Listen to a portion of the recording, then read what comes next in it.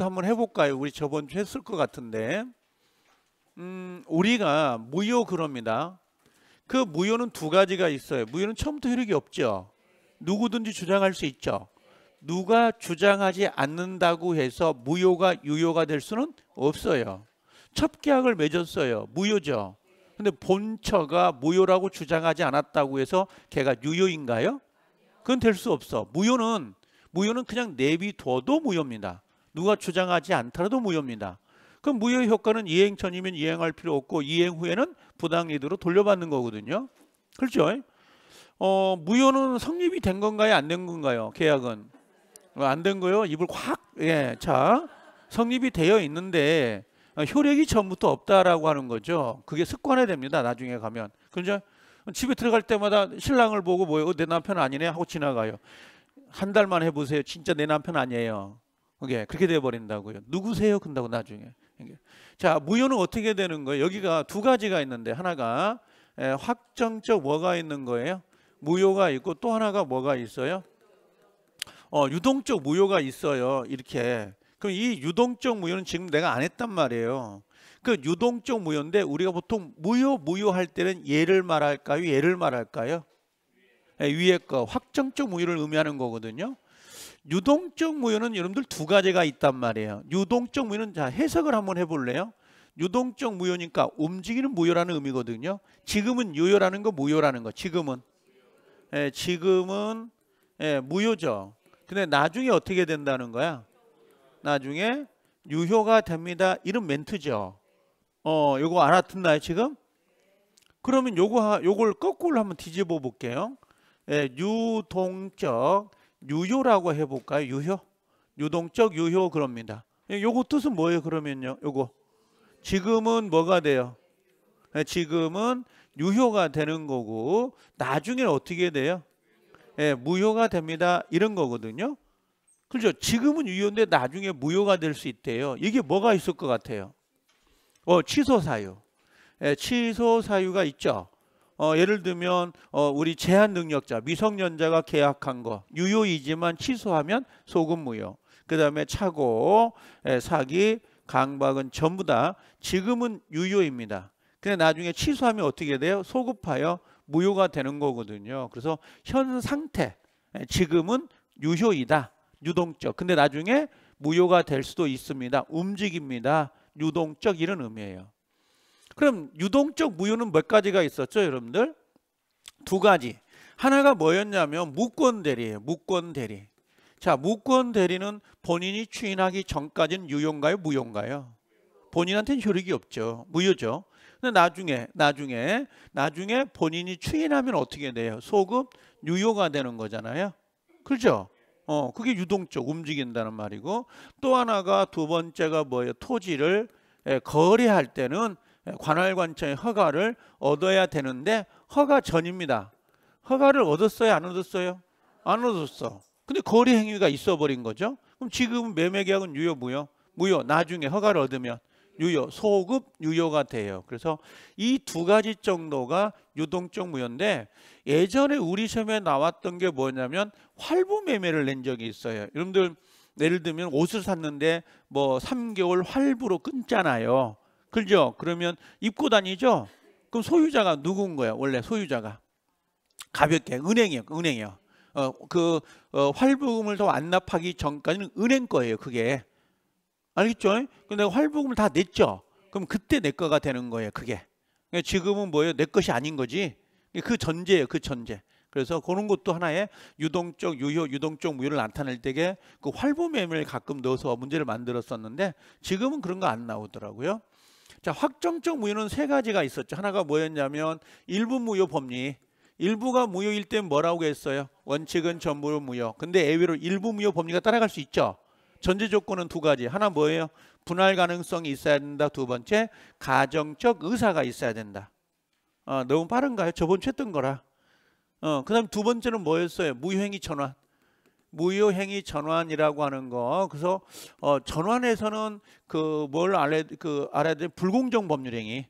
음, 불공정 법률이 매매 대금 과다로 전환시키는 사건이 있었잖아요. 판례. 어, 자, 세 번째는 무효행위 추인이라는 게 있었죠. 그 무효행위 추이는 소급 유효인가요? 아니면 어 그때부터 새로운 법률행위가 되는가요? 네, 그때부터 새로운 법률행위가 되는 거 무효임을 알고 추인하면 기억나죠? 좀 나만 아는 건가요? 그 무효행위 추인이 아주 중요하다고 그래서 꼭 나오는 부분이니까 체크해라. 그래서 제가 지금 요걸 안 해놓고 왔다고 토지거래 허가를 요걸 그럼 중개사법에서 이걸 배울 거거든요. 실무 쪽에 제 뒤편에 가서 배우면 다시 오시면 돼요. 그때 내가 한번 더 할 테니까. 그게 어려운 건 아니에요. 공식처럼 외워놓으면 되니까 이게. 자 이제 취소를 내가 좀 보려고 하는 거거든요. 자 취소를 한번 봐볼게요. 자 취소는 계약 자체가 성립이 된 거예요, 안 된 거예요? 된 건데 여기 취소에서는 요걸 한번 해봅시다. 어떤 거 있냐면 자 이렇게 해볼게요. 취소 사유가 가장 대표적인 게 뭐가 있어요? 미성년자 해볼까요? 갑이라는 사람이 미성년자예요. 19살이 안 된 거예요.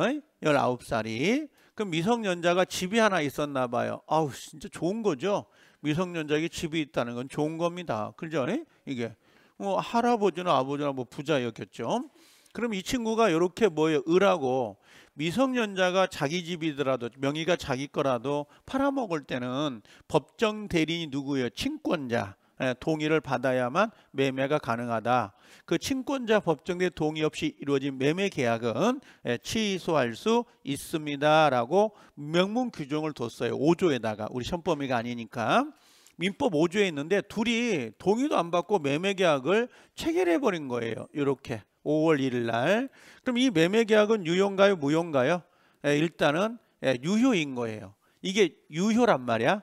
유효인데 나중에 뭐예요? 부모님이 알게 된 거야. 이게 그죠? 그럼 뭐라고 그래? 이 나쁜 새끼 왜 동의도 안 받고 1억짜리 집을 왜 5천에 팔았냐? 그럴 수 있죠. 그러면 어, 어, 부모가 누구한테 을에게 가가지고 우리 아들이 미성년자예요 하고 주민민증 가지면서 뭐라고 그래? 나 이거 계약 취소할 겁니다. 민법 제5조에 규정돼 있어요 하고 취소를 해버립니다. 요 취소는요 단독행위예요. 일방적 의사표시기 때문에 을의 동의를 받아야 안 받아요? 안 받아요. 을의 입장에서는 억울할 수 있죠. 그죠? 그러잖아요. 근데 우리 법이 요 약자를 보호하는 측면인 거야. 미성년자를. 그렇죠? 그러면 이게 취소가 되면 어디로 가는 거야? 요렇게 처음으로 거슬러 올라가요. 5월 1로 간다. 요걸 소급해서 뭐가 되는 거예요? 무효가 된다. 그때부터 무효가 되는 게 아니라 소급하여 무효가 된다. 요걸 뭐예요? 법률 행위 시부터. 법률 행위 시부터 무효가 된다. 계약 시부터 어, 계약 시부터 무효가 된다. 그래야 되는 거죠. 그럼 만약에 취소 요거 요거 맞죠? 그럼 요건 어때요? 취소할 때부터 취소할 때부터 할 때부터 OX 이건 X고요. 뭐 그때부터 어 요것도 뭐가 되는 거야? X가 되는 거예요. 그래서 취소에서 아이러니하게 열 문제가 나오면 답이 다섯 개가 여기에요.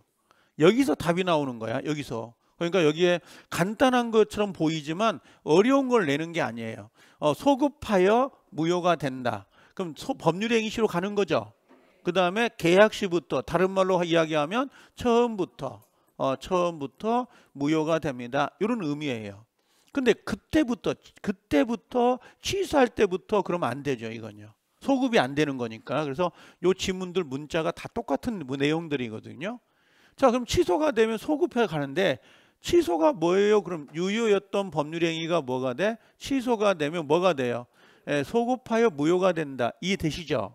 어, 요게 원칙이란 말이에요. 근데 만약에 아들내미가 1억짜리 집을 3억에 팔았다고 합시다. 3억에. 그럼 실제는 이게 옛날 그 사대부에서는요. 우리가 양반 양반 하지만 얘 죽습니다. 그죠? 이 나쁜 새끼 왜 1억짜리를 3억에 팔아? 어, 상대방이 얼마나 그걸 어? 손해를 받겠어? 하고 해초리 올려가지고 막 두드려 패죠. 이게. 근데 요즘은 뭐라고 그래? 어메 잘 팔았네, 다 컸네, 그죠? 도덕관념이 없어져 버린 거예요, 이게. 시대가 그렇게 변한 거지. 그죠? 1억짜리를 1억에 팔아야 되는데 내 3억에 팔았어. 그죠? 그 야단치는 것을 미련스럽다고 그래, 부모는. 그게 미련스러운 게 아니거든. 빨간불 켜지면 안 지나가게 하는 게 맞는 건데 왜 유도리가 없어? 어? 너 그렇게 이야기한다니까요. 시대가 이렇게 변하는 거예요. 상황 논리에 따라 말의 유의성이 가는 거지 이게. 그럼 원래는 나무를 해야 되는데 나부터 그래요. 잘했다고. 1억짜리 3억에 팔았잖아요. 그럼 취소할까요? 안 할까요? 안 한다고. 이건 취소했지만. 그렇죠? 취소를 안 해버린다. 다른 말로 고급지게 이걸 추후에 인정한다. 추인한다는 거예요. 그럼 다른, 다른 말로 취소권의 뭐라 그래요? 포기 이렇게 이야기를 하는 거예요. 그럼 이게 취소권의 포기가 돼버린 거죠? 그럼 요건 이제 여기 유동적이었던 애가 이제 뭘로 바뀌는 거예요? 예, 확정적 뭐로 바뀌어요?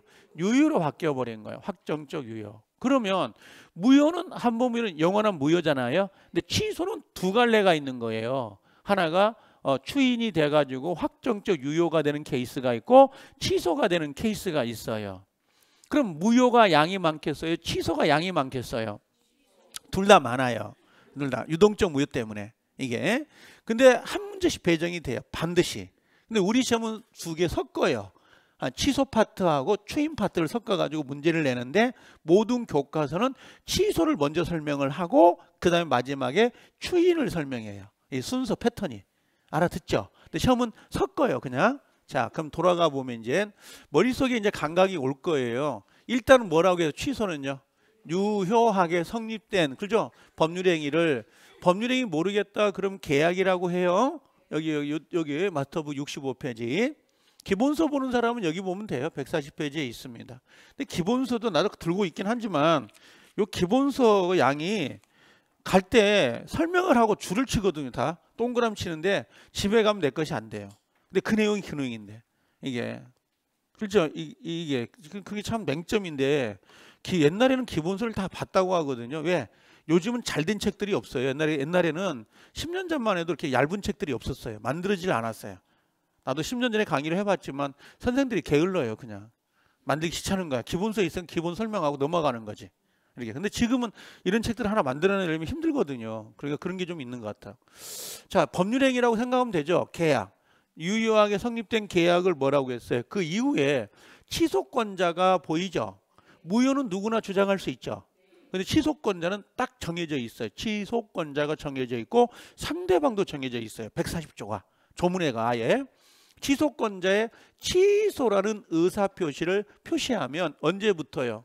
소급적으로 무효가 된다라고 되어 있죠. 소급 무효인데 여기가 혹시 그때부터 무효, 그때부터 아까 어, 무효 그러면 X가 돼요. 아니면 취소한 때부터 한 때부터 무효가 된다 그러면 X가 돼요. 항상 요게 중요합니다. 취소해서 가장 답이 많이 되는 게 소급하여 무효가 된다는 게 가장 중요해요. 가장. 자, 그래서 여기는 아, 유동적 무효가 유효입니다. 이거 고쳐져 있죠, 거기. 예, 유동적 유효 이렇게 돼 있을 겁니다. 어, 왜 그런지 알겠죠? 어, 처음부터 뭐가 돼요? 무효. 처음부터 무효가 돼야 소급이 되는 거니까. 이거 소급이란 말이잖아요.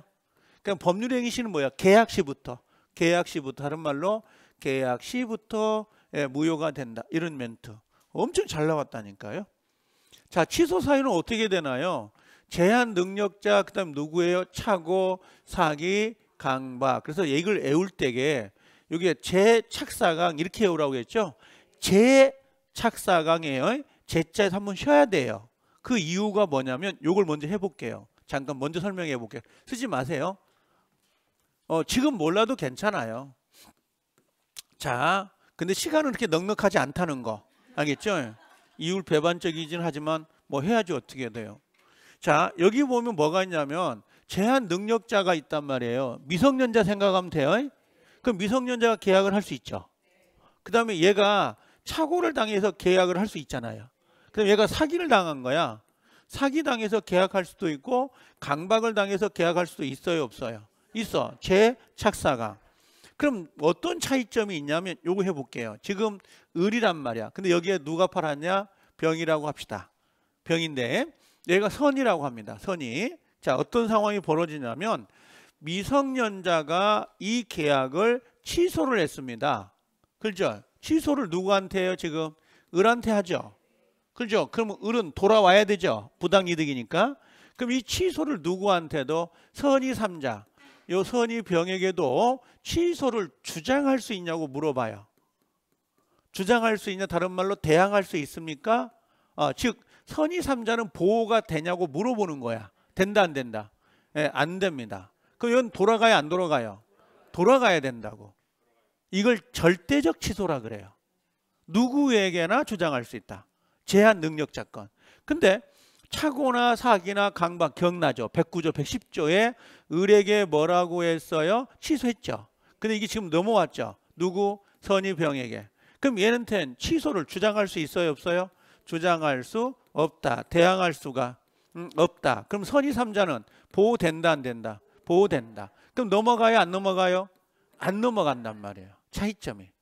그래서 제 착사강 이렇게 외워놓으면 편하다는 거예요. 네 개밖에 없으니까 취소 사유가. 그래서 미성년자의 법률 행위는 누구에게도 미성년자의 법률 행위는 선의 삼자에게도 주장할 수 있다 없다 있다. 어, 요 취소를 주장한다는 거예요. 요, 요 주장, 요안 대항할 수 있다. 어, 요, 요 헷갈릴까요? 동그라미 칠까? 요 취소를 주장할 수 있다, 대항할 수 있다. 무슨 말인지 알겠죠? 병의 입장은 주장을 해야 안 해요. 나 선이야. 나 보호돼야 돼. 할 수 있다 없다? 없다는 거야. 이건 무조건 돌아가야 돼, 안 돌아가야 돼요? 돌아가야 된다고. 근데 착사강은 돌아가야 안 돌아가요? 안 돌아가요. 그게 차이점이라고. 알아듣죠? 그래서 요걸 애울 때, 아, 이렇게 열이 나냐, 이건. 제 착사강, 제 착사강 이렇게 애우시면